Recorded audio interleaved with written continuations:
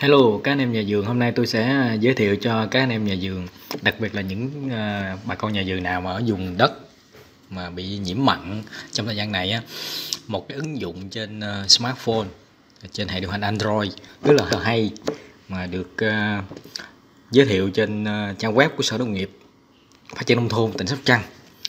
À, đây là cái bài báo giới thiệu phần mềm này đó là phần mềm Mekong.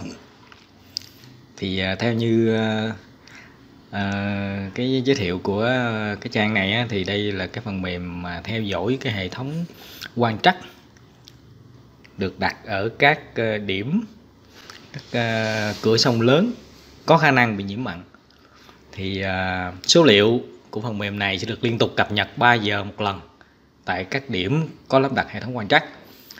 À, thì uh, đây là cái giao diện của phần mềm. Thì hôm nay tôi sẽ à, hướng dẫn cho quý bà con cài đặt cái à, ứng dụng này trên điện thoại của mình để có thể theo dõi cái độ mặn của nước sông bất cứ lúc nào. Thì đối với những cái dòng điện thoại mà xài Android á, chú ý là chỉ chỉ cài đặt trên Android thôi nha.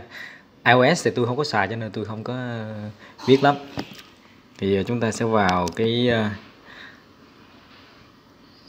CH Play để chúng ta cài đặt. Rồi, vào cái CH Play nè. Rồi sau đó mình à, gõ chữ Mekong. À, là cái dấu hiệu cái biểu tượng là màu đen có chữ MK màu xanh lá cây á. Click vào. Rồi sau đó chúng ta bấm cài đặt.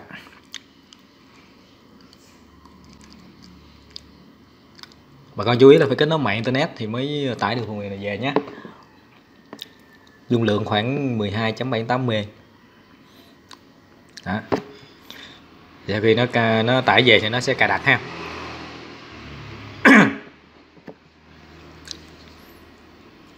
Chờ chút xíu đang cài đặt.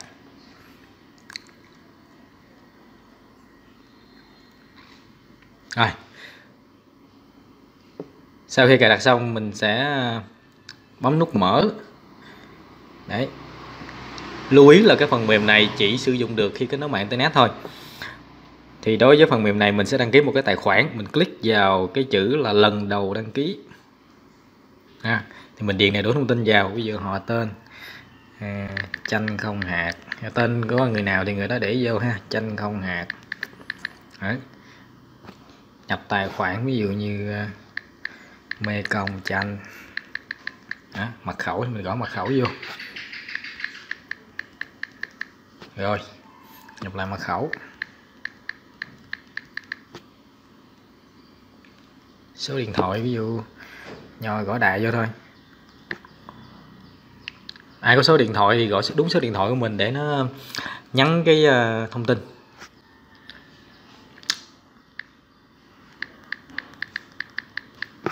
Rồi, nhập email vô.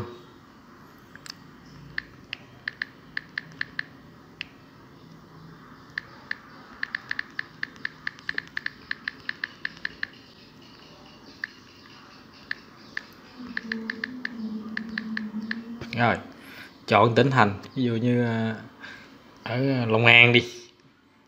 Cái là cái địa điểm mà bà con đang ở ví dụ ờ, của tôi tôi bấm là Sóc Trăng đi. Rồi, tôi đã đồng ý với điều khoản dịch vụ của Ryan, đăng ký. Ok, đăng ký thành công, bây giờ nó sẽ tự động đăng nhập luôn. Mình bấm chữ đăng nhập. Rồi, ở đây ờ, nó sẽ à, hướng dẫn nó sẽ giới thiệu cho mình một cái trạm gần nhất mà ở tỉnh Sóc Trăng người ta đặt cái pha quan trắc để nó thu thập dữ liệu về cho mình. Thì ví dụ tôi ở Sóc Trăng tôi sẽ bấm vào cái trạm Long Phú. Có nút chọn. À, thì sẽ ra cái cái giao diện của cái phần mềm này. Bây giờ mình muốn theo dõi độ mặn thì mình sẽ click vào cái mục đầu tiên là quan trắc nước sông. Ở đây nó sẽ hiển thị cái bản đồ theo Google Maps. Thì ở đây à, ai mà khó nhìn thì mình có thể chuyển sang cái chế độ vệ tinh.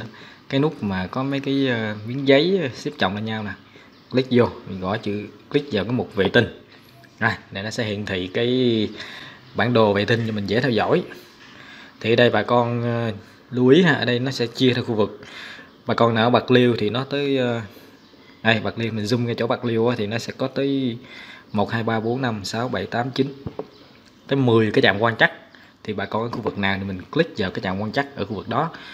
Ví dụ như ở cầu Duyên Hải 1 thì mình sẽ click ngay cái cái trạm này.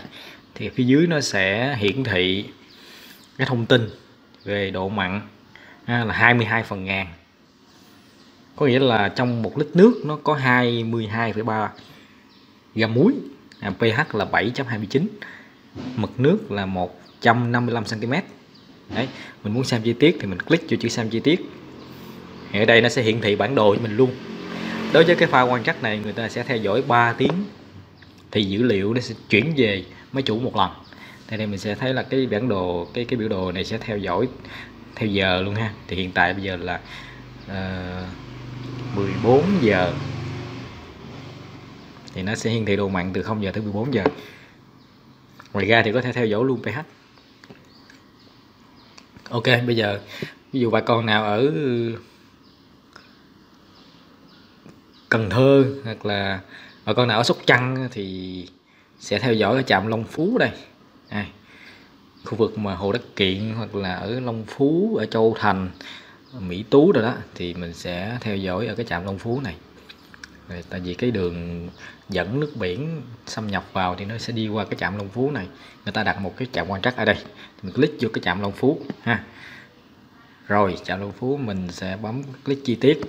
Thì hiện tại ở Long Phú ở thời điểm này thì độ mặn là 2.5 phần ngàn và nhiệt độ ở khu vực này hiện tại là 35 độ C. Rất dễ. Mình có thể theo dõi luôn cái biểu đồ luôn. Rồi, ok, ví dụ bạn, bà con nào ở Long An. Long An là khu vực cũng ờ, chịu ảnh hưởng ờ, rất lớn từ cái ờ, nước biển xâm nhập. Thì ở đây thì mình sẽ kiếm cái tỉnh Long An ở trên bản đồ. Đâu rồi? Đây.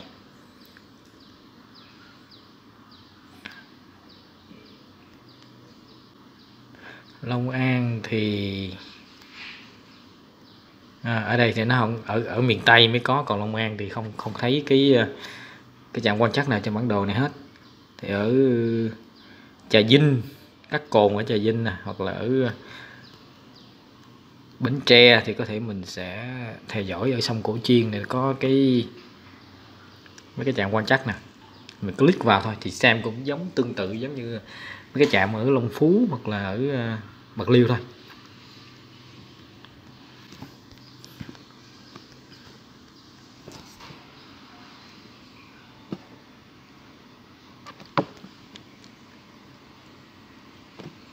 Ok bây giờ khu vực Hậu Giang mà ở Vĩnh, Vĩnh Viễn hoặc là ở Vị Thanh á thì khu vực này nó có ba cái trạm quan trắc.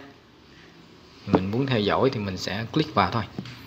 Này, thành phố Vị Thanh nó sẽ có ba trạm quan trắc có một trạm này thì đang bảo trì. Cái trạm mà có cái cái nút màu đỏ thì đang bảo trì. Trạm ở cầu cả mới nhỏ, Bình Điền.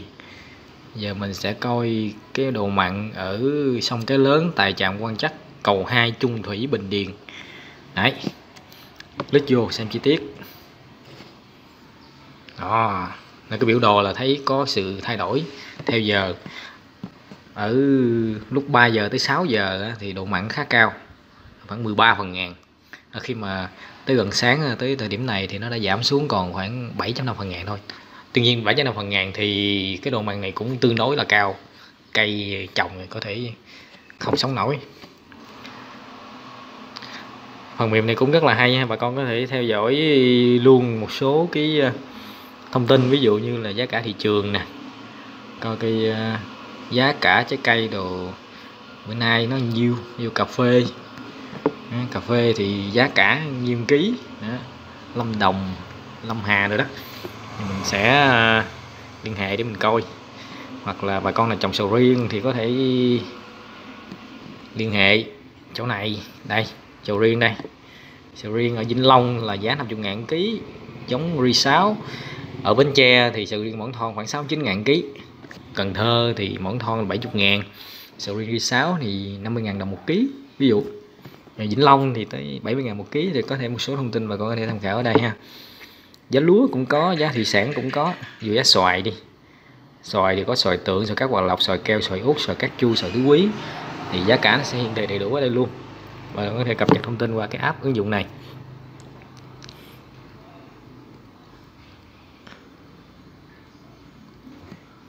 Rồi, ok. Một số cái thông tin với bà con. Thì con có thể ờ, cài cài cái ờ, ứng dụng này về còn nghiên cứu từ từ ha.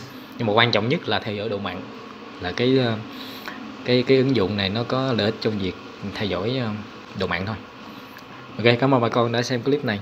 Hy vọng clip này sẽ hữu ích với bà con. Có vùng mà bị xâm nhập mặn. Rồi, bye bye bà con nha.